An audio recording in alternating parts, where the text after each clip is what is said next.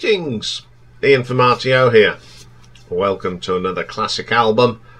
Um, as during the month of August, we have been looking at some great reggae albums, and we couldn't end the month without doing an album by this gentleman. We are talking, of course, about Bob Marley. Born Robert Nesta Marley on the 6th of February 1945 in Jamaica. Now, the, um, Bob Marley is considered one of the pioneers of reggae. Um, his musical career didn't mark that fusion elements of reggae, ska, and rock steady, brought them all together, and gave, I think, to reggae that more brought it into the marketplace. Um, apart from being a great musician, he was, of course, a Rastafarian icon. He infused his music with his spirituality, and um, he was very outspoken for democratic social reforms. And it led to him in in 1976 that someone tried to shoot him. he survived that, but sadly in 1981 he was taken from us too early by cancer or the spread of his melanoma to his lungs and brain. And his, his final words are always remembered, but to his son Ziggy. And he says, On your way up, take me up. On your way down, don't let me down.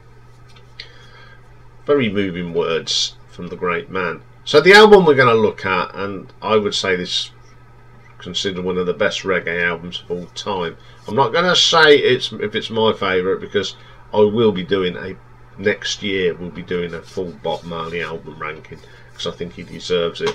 And the album is his fifth album from 1973, and it's Catch a Fire, which he did with Bob Marley and the Wailers. And um, it's just a great album. So who plays on this? So you got Bob Marley on the guitar and vocals, Peter Tosh organ, piano and vocals, Bunny Wailer on bongos and congo, Aston Barrett bass guitar, Carlton Barrett on the drums, Rita Marley backing vocals, Marcia Griffiths backing vocals. Additional people is John Bundrick on keyboards, Wayne Perkins plays some guitar on Concrete Jungle, and Baby we've got a date. Robbie Shakespeare bass guitar on Concrete Jungle, Tommy McCook on the flute, Jean Roussel on piano, Winston Wright organ, Francisco Pep percussion, Chris Karan percussion, and the album was produced by the Wailers and Chris Blackwell. So the opening track is the classic Concrete Jungle. Absolutely brilliant track. What a great bass line this is. The guitar work is really good. It is just one of those iconic Bob Marley tracks. Slave Driver, solid reggae song, great vocal from Bob. He put so much emotion, and the band are absolutely brilliant. The Wailers are just a great bunch of musicians. Next track up is a track called 400 Years. Again, the bass line is just terrific. Written by Peter Tosh, one of my favourite tracks on this album. Then we get my favourite track on here and it's Stop That Train. I love the guitar on this, that rich organ. Um, it's got that very Jamaican feel to it. Absolutely brilliant track. Then we've got Baby, we've got a date, Rock It Baby. Just got that solid Jamaica sound of reggae. Lovely guitar solo on this, one of the best on the album. Stir It Up. I love this. It's a little bit different. Great vocal from Bob though. Uh, it's a terrific track. Kinky Reggae. Now this actually defines the reggae sound for me. When you think of reggae, this is what I think of. Kinky Reggae. It's a funny title, but I do like it. No more tr trouble. Again, just solid reggae. It relaxes you. You can chill out to that. Midnight Ravers, one of my other favourite songs by Bob Marley. Got everything in here, the harmonies, the vocals. Oh, it's just brilliant. What a track to end the album with. So, the critical reception of To Catch a Fire was very positive. Robert Christgau actually says something good. Half of these songs are worthy of St John the Divine, and the Barrett Brothers bass and drums save those aren't from aren't from Limbo.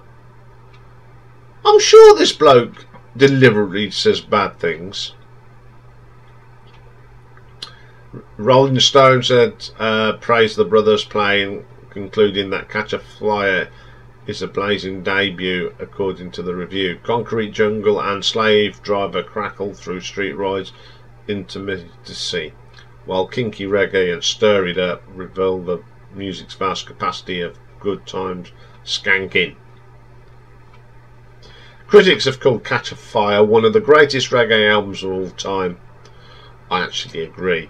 Vik Iyengar of all music comments that Marley would continue to achieve the great critical critical and commercial success during the 70s, but Catch a Fire is one of the finest reggae albums ever. The album was essential, an essential for any music collection. Rolling Stone ranked it at 123 in its list of greatest albums, 500 albums. All Music so gave it um, five stars. Christgau gave it an A. Pop Encyclopedia Popular Music gave it five. Music Hound Rock gave it four and a half. The Rolling Stone album guide four and a half. This album sold 14,000 copies in the first week. Peaked at number 171 on the Billboard. When it was re-released, it did well as well. So it's it's, it's done very very well for them. Um, as, I, as it says, it's one of the greatest reggae albums. I do like this album. As I says, I'm not going to tell you if it's my favourite of his albums, but I'm going to give this an RTO ranking of 9 out of 10, so you'll know that it's quite high on the. It'll be quite high on the list. Okay, um, I've enjoyed doing this reggae month um, quite a lot. But um, if you think a reggae album should be put in Battle Royale, put one in. Let's have a bit of reggae in there. 17th of September is the closing date. So that's the last of the August classic albums. Now, in September, we're also doing a thing and I'm going to look at four blues albums. And it's the top four in one of the um, lists I found. So I just went and found the a list, and I will tell you more about that next week. Okay, that's all for today. Um, tomorrow, we got a busy day. Uh, it's Ladies' Day. And tomorrow we have got a English folk band from Watford. They are three sisters and they're called the Staves. And also tomorrow we are doing a tribute to actress, singer, and rather lovely lady who sadly passed away last month. Um, Miss Jane Birkin. So we're gonna I'm gonna pick my favourite tracks by Jane Birkin. And also tomorrow I've got a birthday top ten to do as well. So lots happening tomorrow. Have a great bank holiday if you're in the UK. Wherever else you're in the world, have a fine day and I will see you tomorrow. Bye for now.